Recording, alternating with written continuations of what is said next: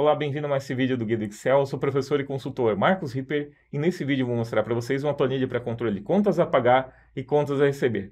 Como você vai ver, ela é um modelo muito prático de utilizar e totalmente desbloqueado. Então, ao adquirir, ela vai totalmente desbloqueada, pode fazer alterações caso você queira, pode estudar ela.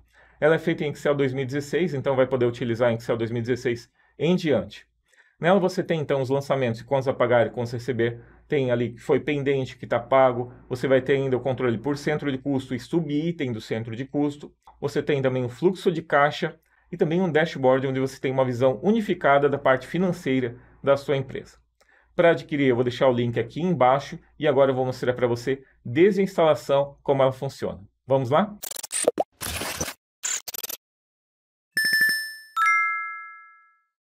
Eu vou mostrar para você desde a instalação até o uso completo dessa ferramenta. Então você vai clicar duas vezes sobre esse arquivo zip que vai vir para você. Você vai clicar aqui e vai copiar essa pasta toda, copiar ela para algum lugar no seu computador. Por exemplo, aqui eu vou colocar em C2 pontos. Tá? Coloquei ele aqui embaixo. Clica assim, ele vai aparecer esse arquivo. Botão direito sobre ele, propriedades, e aqui talvez esteja desbloquear. Daí você vai clicar em desbloquear aqui e pronto, ela já está pronta para uso. Clica duas vezes sobre a planilha e aguarde então a sua abertura. Ela vai aparecer assim para você com usuário e senha, login, logout. Vou colocar aqui então o usuário padrão. Clica em entrar. Bem, acesso liberado, ok. Ele vai aparecer com essa tela para você. Aqui você tem quantos a pagar, quantos a receber, centro de custo, o dashboard, o fluxo de caixa e detalhes também do quantos a pagar e quantos a receber. Como pode notar, está tudo liberado também as planilhas aqui abaixo. Você pode ocultá-las se você quiser simplesmente passando para cá. E conforme o acesso que você der, de acordo com o usuário que você entrar, ele vai ter uma ou outra permissão. Então não é todo usuário que vai poder acessar tudo. Ela vai totalmente desbloqueada. Você pode bloquear ela se você quiser, tá? Mas ela vai totalmente desbloqueada. Então pode mexer e estudá-la, alterá-la como você quiser. Então você tem aqui quantos a pagar, quantos a receber. Vamos começar pelo centro de custo. Então, no centro de custo, cadastre o tipo de pagamento, clique para ir até a tabela. Então, aqui em cada tabela você tem receita, é, despesa de escritório, despesa de depósito. Você pode mudar o nome que você tem logo acima. E abaixo você vai colocar, então, o centro de custo em cascata. Aqui abaixo você tem também as formas de pagamento. E esses aqui são os cadastros iniciais que você vai fazer. Então, se tem receita, esse aqui pode ser uma receita de condomínio, pode ser utilizado, então, por exemplo, para um contas a pagar e receber de condomínio. Tá? É bem interessante para isso, por exemplo. E aqui você vai mudar então o nome aqui em cima, tá? Para cada um desses centros de custo, pode cadastrar até 16 centros de custo. E logo abaixo você tem então a descrição, detalhamento com vários outros é, subníveis que você pode ter do centro de custo, você vai cadastrando logo abaixo deles. Então, aqui você tem as despesas detalhadas. Voltando lá então, na telinha de login, nós temos contas a pagar, contas a receber, no Contas a Pagar, você tem essa tela aqui. Como você pode notar, é bem prática, tá? é bem simples. Está congelada a parte de cima, então o cabeçalho, quando você roda, ele já vem para baixo, assim você pode analisar como você quiser. Se quiser localizar algum item, você pode dar um Ctrl L. Pode também filtrar ele por aqui. Pode classificar ele também por aqui. E também tem um botão aqui de novo registro e excluir registro. Clicando no novo registro, ele já vai para a última linha. Então fica bem fácil, basta você vir aqui digitar, tá? Recebimento de aluguel, qualquer coisa. E você tem aqui ao lado é, pagamento de aluguel, né? O valor que você vai colocar, a forma de pagamento vai aparecer para você aqui. Você vai colocar então a data do pagamento, vamos dizer que foi pago já. Status, situação pago ou pendente, tá? Então aqui você tem controle disso. Aqui, descrição de centro de custo. Quando você clica aqui, vamos dizer que foi assessoria contábil, aqui ao lado ele vai mostrar somente aqueles itens que estão para aquela árvore. Então, assessoria contábil apareceu esse. Se eu mudar aqui para marketing, vai aparecer somente as que são de marketing, tá? Então, elas são dependentes, o, o centro de custo e o subitem de centro de custo. E já está lançado. Para eu excluir um item, basta você clicar aqui em excluir registro, e ele vai excluir aquele registro que está selecionado. Acima você tem filtros. Eu quero ver tudo que foi pago eu quero ver tudo que está pendente. Então, eu consigo ver tudo que está pendente aqui, que falta pagar. Ótimo. Então, eu tenho aqui. Tem um filtro também por forma de pagamento. Você tem um filtro por centro de custo. Tudo que eu quiser saber aqui por cada centro de custo. Bem rapidinho. E é isso. Voltando para cá, para filtrar, para limpar o filtro, pode clicar também nesse botão e ele vai limpar exatamente como estava. Você pode também navegar pelos botões aqui acima. Vamos para contas a receber.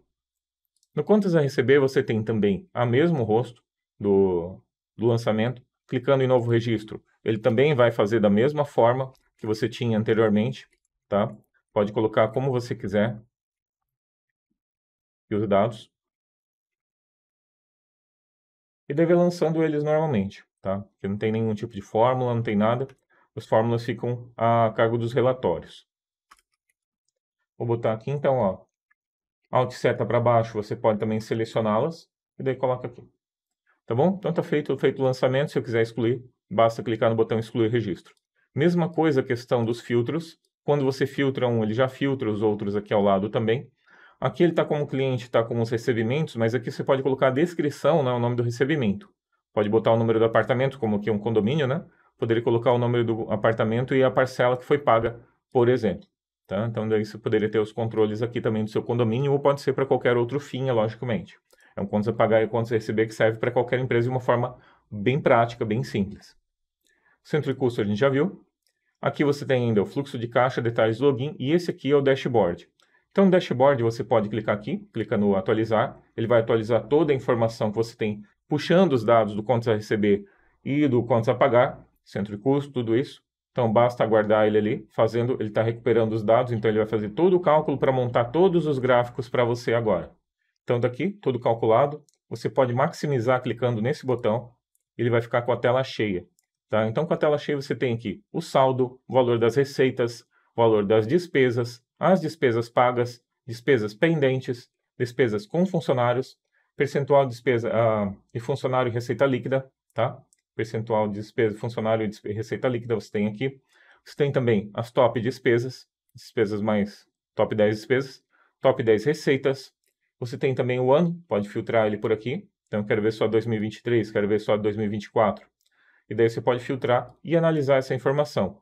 Além disso, você tem um nome pelo mês, pode filtrar ele aqui pelo mês, quero ver só de dezembro. Ele vai filtrar aqui para você analisar.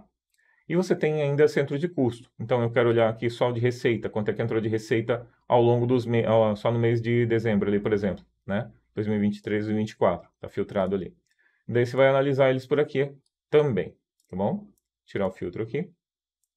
Muito bem. Logo abaixo você tem aqui meses anteriores ao atual. Então você pode também selecionar aqui, eu quero somente o mês atual, eu quero o mês atual e menos um também. Então os últimos três meses, últimos quatro meses, e para aí você vai, você consegue analisar, então, aqui, ó, por meses, os últimos meses, os últimos seis, me uh, sete meses ali que você tem. Por exemplo, você consegue analisar de uma forma fácil aqui, filtrando. Esse filtro é bem legal, muito útil para você aqui com relação à análise, comparação do ano com o outro. Então, você tem aqui num gráfico com a comparação do que você quiser. Então, por exemplo, se eu quiser ver as despesas de veículos, quiser ver como é que foi, né? Ou quiser ver a receita, como é que foi, você consegue analisar aqui. Claro que agora a gente entrou em 2024, então a gente não vai ter tantos dados ali para poder comparar, mas aqui a gente já tem. Aqui acima a gente tem receita versus despesas por dia. Então você tem por dia aqui as despesas para baixo, as receitas para cima, mostrando quanto entrou e o quanto saiu por cada um dos dias. Ok? Então está aqui o nosso gráfico. Nós temos também o fluxo de caixa, pode ser acessado por aqui ou clicando aqui. Então clicando ali você vem para o fluxo de caixa. E você pode ver que ele está maximizado, né? Você pode minimizar se você quiser. E aqui você tem o mês relativo, os meses que você está querendo analisar. Clica também para atualizar ele, né? Clique em atualizar sempre que começa ele. Se bem que ele, quando ele clica, já está atualizado pelo dashboard, então não precisaria clicar de novo. Mas ali você tem o fluxo de você tem o fluxo, tem o total de entradas, como você pode notar aqui acima. Você tem também o total de despesas, o saldo operacional, e o saldo final de cada mês ali, certo? Logo abaixo você tem também o saldo inicial de um mês para o outro. Então, quanto que sobrou que você teve das saídas e das entradas de um mês para o outro, ok? E aqui o total geral. Perfeito? E aqui você pode também filtrar as mesmas coisas, né? Aqui você tem meses até agora, a partir de zero meses, três meses, os últimos meses. E daí você vai filtrando e pode analisar eles aqui, ó, os últimos sete meses. Você pode analisar eles por aqui também tirar o filtro aqui e mostra tudo, tá? Somente do mês anterior, e aí você vê ali o que você precisa analisar e pode filtrar aqui de uma forma fácil. Aqui em detalhes, você tem os dados do contas a pagar, então aqui eu tenho detalhado o contas a pagar e posso filtrá-los por aqui por cima, todos os períodos. Posso filtrar também o status de pagamento, pago pendente, formas, centro de custo,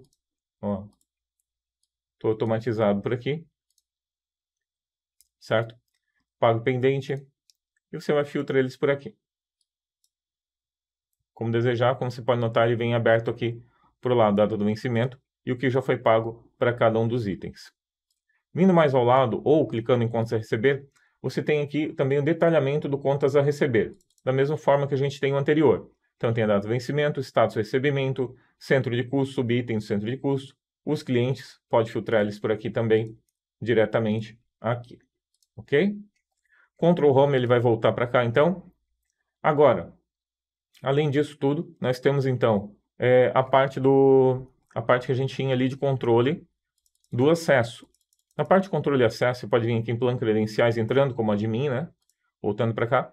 Você tem o admin onde você tem aqui os usuários e senhas. Então aqui as senhas, os usuários, né? Testes. E aqui, conforme o usuário que você entra, ele vai ter acesso a uma coisa ou outra.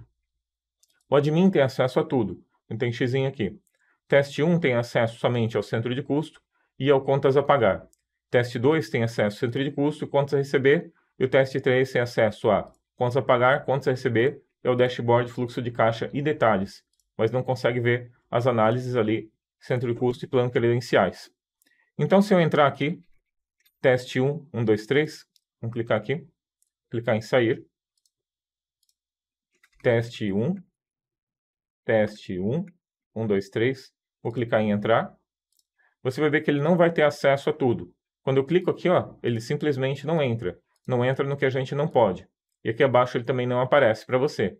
Então, tá aqui, ó, tá bloqueado. E ele só vai conseguir entrar naquilo que está permitido. Então, ao longo desse vídeo, eu mostrei para vocês como funciona a planilha de contas a pagar e contas a receber. Se você gostou, pode comprar aqui embaixo, então o link está aqui embaixo na descrição para você. O envio é automático, pode comprar com, com Pix, com boleto, com cartão, em 10 vezes sem juros. Emitimos nota fiscal para todas as compras e também damos garantia de 7 dias. Caso não te atendeu por qualquer motivo, é só entrar em contato que a gente cancela para você. E além disso, também damos todo o suporte. Caso tenha qualquer problema, qualquer dúvida com a instalação, é só entrar em contato com a gente tá bom? Lembrando mais uma vez que ela funciona em Excel 2016 em diante e também vai totalmente desbloqueada, você pode fazer alterações caso deseje nela e mexer nela como, como quiser para adaptar ao seu negócio, ok? Então é isso, muito obrigado por ter assistido a mais esse vídeo, valeu e até o próximo.